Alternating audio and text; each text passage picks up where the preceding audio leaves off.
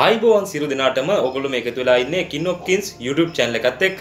ඉතින් අද ඔගොල්ලන්ට අරගෙනට තියෙන Assassin's Creed Valhalla game එක මේ Valhalla game එක තුල අන්තර්ගත වෙන ඇත්තම ඓතිහාසික චරිත හතරක් පිළිබඳව තමයි අද කතා කරන්නේ. ඉතින් මේ පළවෙනි කොටස දෙවෙනි කොටසින් තවත් චරිත කිහිපයක් පිළිබඳව සාකච්ඡා කරනවා. ඉතින් Assassin's Creed game කියලා කියන්නේ මෙතුවක් කාලයකට නිර්මාණය වෙච්චි සැබෑම ඓතිහාසික සිද්ධි ඓතිහාසික ස්ථාන වගේ දේවල් පදනම් කරගෙන නිර්මාණය වෙච්ච ගේම් එකක්. ඒඳ අතිශය ජනප්‍රියතාවයකුත් තියෙනවා මේ ගේම් එකට. ඉතින් මේ ගේම් එකට ඓතිහාසික සිද්ධි හෝ චරිත පදනම් කරගන්නකොට ප්‍රධාන කොටස් තුනක් හැටියට තමයි යොදාගෙන තියෙන්නේ. මේකේ පළවෙනි කොටස වෙන්නේ ඇත්තම ඓතිහාසික සිද්ධිය ඒ ආකාරයටම යොදා ගැනීම. මේකේ දෙවෙනි කොටස වෙන්නේ ඓතිහාසික සිද්ධිය සිදු වෙන්න බලපාපු ගේම් එකේ කතාව ඉදිරිපත් කිරීම. මේකේ තුන්වෙනි කොටස වෙන්නේ බොරු ඓතිහාසික සිද්ධියක් පදනම් කර ගැනීම. ඉතින් මේකේ මේ තුන්වෙනි කොටස එච්චරම ගේම් එකේ දකින්න නෑ. හැබැයි මේක අපිට දැක් ගන්න පුළුවන් Assassin's Creed දෙවනි ගේම් එකේදී. විශේෂයෙන්ම ලියනාඩෝ ඩා වින්චි විසින් ඉත්සියෝ ඔඩිටෝරියට අර හිඩන් බ්ලේඩ් එක නිර්මාණය කරගන්න නැත්නම් ඒක ප්‍රතිසංස්කරණය කරගන්න උදව් දෙනවා. දැන් මේක ඇත්තම ඉතිහාස සිදු වෙච්ච දෙයක් නෙමෙයි මේක බොරු ඓතිහාසික සිද්ධියක්. නැත්නම් බොරු ඓතිහාසික අවස්ථාවක්. ඉතින් අන්න ඒ වගේ දේවල් ගත්තාම ඒ වගේ තියෙනවා. හැබැයි ප්‍රධාන වශයෙන් මේ වගේ අවස්ථා අඩුයි.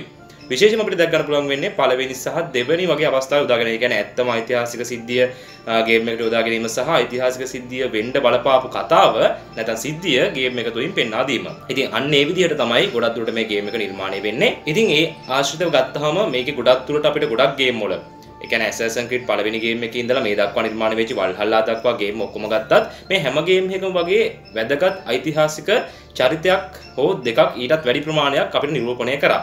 ඉතින් ඒ විදිහට වල්හල්ලා එකෙත් අපිට චරිත 10කට වැඩි ප්‍රමාණයක් දැක් ගන්න පුළුවන් ඇත්තම ඉතිහාසය තුල සිටපු. ඉතින් අපි යන්නේ චරිත වලින් හතරක් පිළිබඳව තමයි අද සාකච්ඡා කරන්නේ. එහෙනම් අපි දැන් මේ චරිත හතර පිළිබඳව කතා කරන්න වීඩියෝ එකට සම්බන්ධ වෙමු.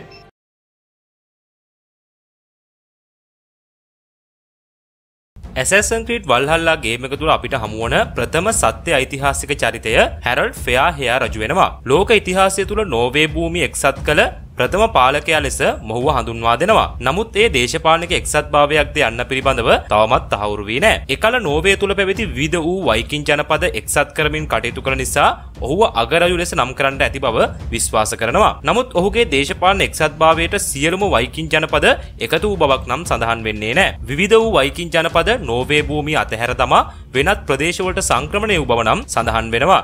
විශේෂයෙන් මේ සංක්‍රමණ සඳහා මූලික වූ භූමීන් ලෙස එංගලන්තය, උතුරු ප්‍රංශය, අයිස්ලන්තය, ග්‍රීන්ලන්තය වගේ ප්‍රදේශ පෙන්වා දෙන්නට පුළුවන්. Assassin's Creed Valhalla ගේම් එක තුලද අපේ චරිතය ප්‍රධාන කණ්ඩායම මෙසේ නෝර්වේ අතහැර යාමට හේතුව මෙම හැරට් රජුගේ දේශපාලන එක්සත් කිරීමේ ක්‍රියාමාර්ගයයි. ඉතිහාසය තුල ඉතාමත් කඩවසම් පුරුෂයෙකු ලෙස හැරට් රජුව පෙන්වා දෙනවා. ඔහුව ෆෙයාහයා ලෙස නම් කොට ඇත්තේද ඔහුගේ දීප්තිමත් රන්වන් පැහැයෙන් යුක්ත හිසකෙස් නිසා බව සඳහන් වෙනවා. හැරට් රජුගේ දේශපාලන ප්‍රතිපත්තිය රණශූර බව කඩවසම් පෙනුම ආදිය නිසා ඉතිහාසය තුල ඔහුට විශේෂ තැනක් හිමි වෙනවා. ඒ නිසා Assassin's Creed Valhalla ගේම් එක තුල අපට හමුවන වැදගත් ඓතිහාසික චරිතයක් ලෙස හැරල්ඩ් ෆෙයාහයා රජුව පෙන්වා දීමට පුළුවන්. Assassin's Creed Valhalla තුල අපට හමුවන ඊළඟ වැදගත් සත්‍ය ඓතිහාසික චරිතය අයිවාර්ද බෝන්ලස් ටැග්ලසන්ය. මොහු එංගලන්තයේ ගවේෂණය කළ ප්‍රථම වයිකින් නායකයා වන ශ්‍රේෂ්ඨ රැග්න ලෝතබ්‍රොක්ගේ එක් පුතෙකු බව ඉතිහාසය සඳහන් වෙනවා. රැග්න ලෝතබ්‍රොක් එංගලන්තයේදී අමානුෂික ලෙස සැක්සන් වරුන් අතින් ඝාතනය වූ නිසා එයට පරිගැනීමක් වශයෙන් අයිවාර් ඇතුළු ඔහුගේ සහෝදරයන් දෙදෙනා මහා හීටන් හමුදාව සමග එංගලන්තය බලා ගමන් කොට තිබෙනවා. මහා හීටන් නමින් හැඳින්වූ මේ වයිකින් හමුදාව එක් ප්‍රධානයෙකු ලෙස මොහුව පෙන්වා දිය හැකි. මොහුව අයිවර්ද බෝන්ලස් ලෙස නම් කිරීමට හේතු වන්නේ මොහුට සුළඟට බදු වේගයෙන් සටන් කළ හැකි නිසාය.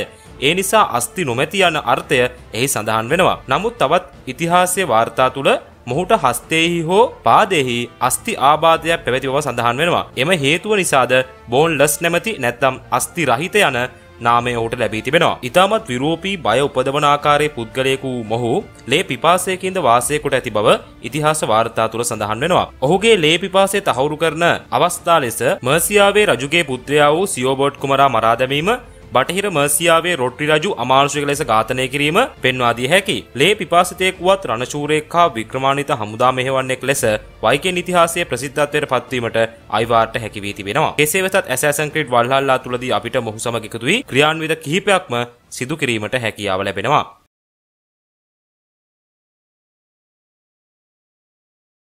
ස්වාධීන මර්සියාවේ අවසන් පාලකයා ලෙස පත් වූ දෙවන සියෝවුල්ෆ් රජුද ඇසෑසන් ක්‍රීට් වල්හල්ලා තුළ අපට දැකගත හැකි තවත් වැදගත් සත්‍ය ඓතිහාසික චරිතයක් වෙනවා. ක්‍රිස්තු වර්ෂ 874 දී රැග්නසන් වරුන්ගේ සහාය ඇතිව එවක මර්සියාවේ පාලකයා වූ බර්ජර්ට් රජු සියසුනින් නෙරපා මර්සියාවේ රජු බවට පත්වීමට මොහු කටයුතු කොට තිබෙනවා. ඉන්පසු උතුරු මර්සියාව හා නැගෙනහිර මර්සියාව මොහු පාලනය කොට ඇති අතර දකුණු මර්සියාව රැග්නසන් වරුන් අතට පත් කොට තිබෙනවා. මොහුව සිංහාසයට පත් කිරීමේ සටනට අපටද සම්බන්ධ වීමට ඇසෑසන් ක්‍රීට් වල්හලා තුලින් හැකියාව ලැබෙනවා. අයිවාර් රැග්නසන් යටතේ හැදී වැඩුණු සියෝබර්ට් කුමරා සියෝවුල් ප්‍රජුගේ එකම පුත්‍රයා වෙනවා. නමුත් අයිවාර් විසින්ම ඔහුව ඝාතනය කළ බව අපි පෙරදීද සඳහන් කළා. මර්සියාවේ බලය දිගටම සියෝවුල් රජුට තබා ගැනීමට හැකියාවක් නොලැබුණු අතර සැක්සන් පාලක මහා ඇල්ෆර්ඩ් රජු ක්‍රිස්තු වර්ෂ 883 දී මර්සියාව ආක්‍රමණය කොට සියෝවුල් රජුව බලයෙන් පහ කළ බව ඉතිහාස වාර්තා තුල සඳහන් වෙනවා. කෙසේ වෙතත් වල්හල්ලාහිදී අපට හමුවන තවත් වැදගත් චරිතයක් ලෙස දෙවන සියෝල් රජුව පෙන්වා දෙන්න පුළුවන්.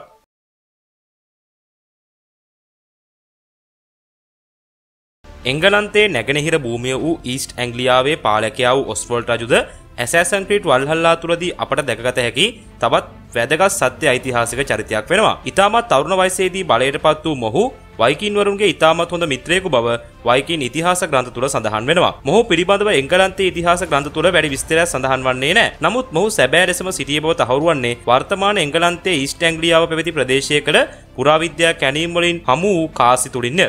එම කාසිවල කාල් නිර්ණය අනුව ක්‍රිස්තු වර්ෂ 9 වන සියවසට අයත් වූ බව තහවුරු වෙනවා. එනිසා ඒ කාසි නිකුත් කරන්නට ඇත්තේ මෙම රජු බව තහවුරු වෙනවා. ඇසෑසන් ක්‍රීඩ් වල්හල්ලා ගේම් එක තුලදී අපට ඔස්ට්‍රේලියාව රජුට ඊස්ට් ඇංග්ලියාවේ සිහතුන ලබා ගැනීමට උදව් කිරීමට හැකියාව ලැබෙනවා. එපමණක් නොවේ ඔහුගේ විවාහ මංගල්‍යයටද සම්බන්ධ වීමට හැකියාව ලැබෙනවා. ඒ නිසා ඇසෑසන් ක්‍රීඩ් වල්හල්ලා තුල සිටින තවත් වැදගත් ඓතිහාසික චරිතයක් ලෙස ඔස්වර්ඩ් රජු පෙන්වා දීමට හැකි.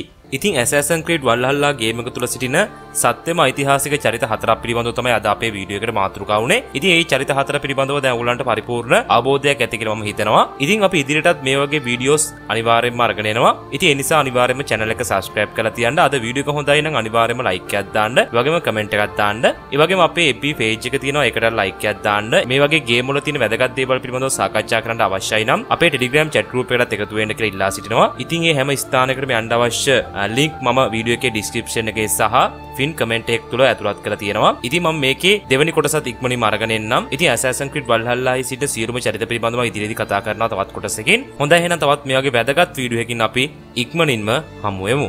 සියලු දෙනාටම ජයෙන් ජය වෙන්න කියලා ප්‍රාර්ථනා කරන වගේම තෙරුවන් සරණයි කියලාත් ප්‍රාර්ථනා කරනවා.